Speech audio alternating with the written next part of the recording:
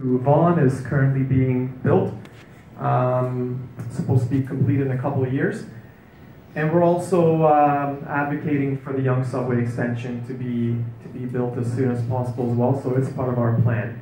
But not only that, we're, we're also going to be studying, recommending studying further extensions of, of these subways because we know that uh, growth doesn't stop at Highway 7, and so we need to, we need to look at extending those subways further.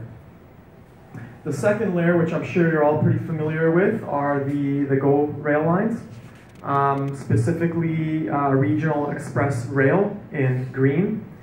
And um, what this is showing, I know it's only supposed to be going up to Unionville according to the province, but what we're, what we're um, recommending as part of the master plan is to extend it all the way up to Major Mackenzie to a new station um, over there by Major Mackenzie, I believe that's Highway 48 capture most of uh, Markham's built up area.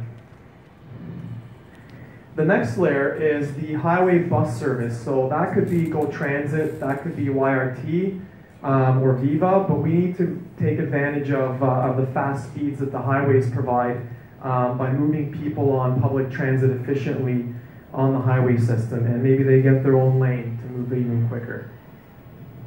The transitway is also there, which the province is working on along Highway 407.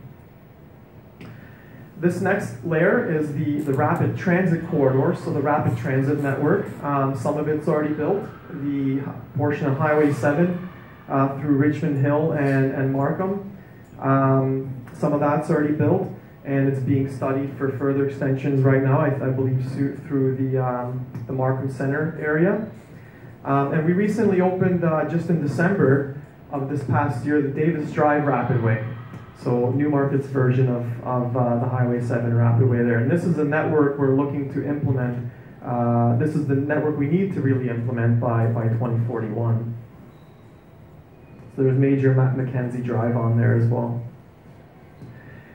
That network of rapid transit is supported by a robust um, frequent transit network, which is um, what YRT right now is working on. And what that means is that's 15 minute service or better on any of these corridors that are in the light green.